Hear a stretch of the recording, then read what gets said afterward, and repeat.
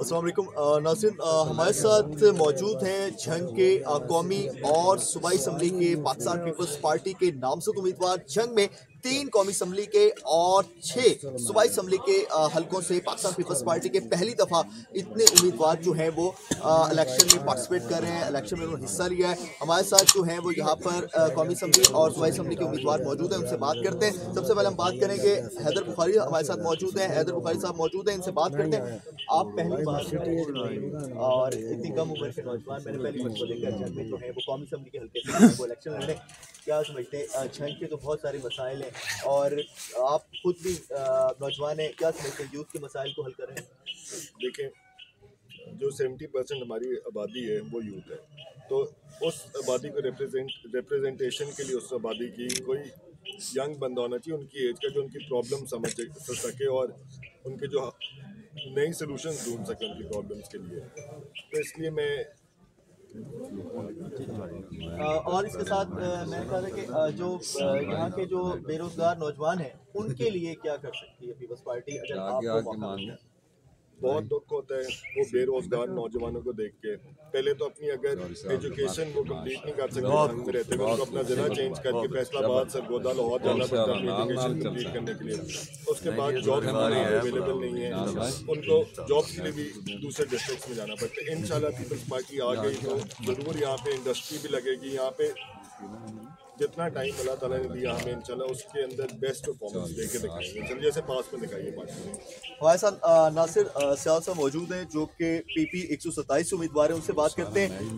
खान साहब आप भी इलेक्शन में हिस्सा ले रहे हैं और आप एक वक्त था जब आप लोगों की हुकूमत हुआ सियालों की तो हुकूमत होती थी जंग में तो क्या समझते हैं कि अगर आपको मौका मिलता है तो जंग की आवाज़ की जो महरूमियाँ हैं उनको नहीं है जी नासिर अ, भाई हमारे साथ मौजूद थे। यहाँ पे और भी जो उम्मीदवार हैं उनसे बात करते हैं आगे बढ़ते हैं और उनसे बात करते हैं। अच्छा आप बताएँ आप क्या समझते हैं कि जो यहाँ पे पहली बार आपका किस हलके से आप उम्मीदवार हैं पाकिस्तान पीपल्स पार्टी के? मैं पाकिस्तान पीपल पार्टी एक सौ छब्बीस में बतौर कैंडिडेट हूँ। ओके।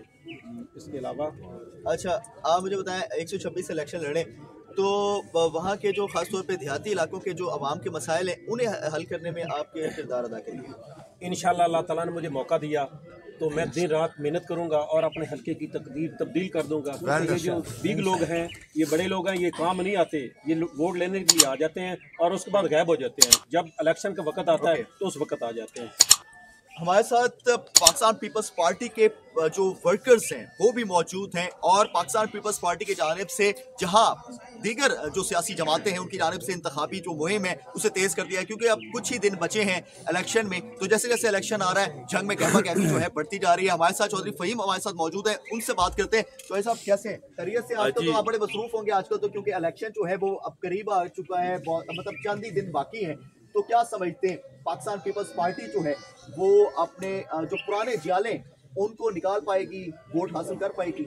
सर भुट्टो, तेरे शहर के लोग तुझसे वफा करें या ना करें, हम तो जो बुत भी तराशेंगे वह तुझसा होगा। सर, बात यह है कि एक तो मैं आपका शुक्रिया अदा करता हूँ कि आप इतनी धुन में हमारे पास तशरीफ़ लाए। पाकिस्तान पीपल्स पार्टी एक समंदर है और समंदर में जो उनसे हैं वो लोग आते हैं, हम उनको वेलकम भी करते हैं, जो जाते हैं तो उससे पीपल्स पार्टी का कोई फ़र्क नहीं पड़ता। पाकिस्तान पीपल्स पार्टी के फैमिली में हम सियाल साबान को वेलकम करते हैं। इन्होंने हमें ज्वाइन किया। और टिकट जो उनसा है, वो एन ए पी पी एक सौ सताईस का इनको मिला एन ए एक सौ नौ का। सैयद हैदर अली बुखारी साहब को मिला, उनके दादा पाकिस्तान पीपल्स पार्टी के बानी हैं।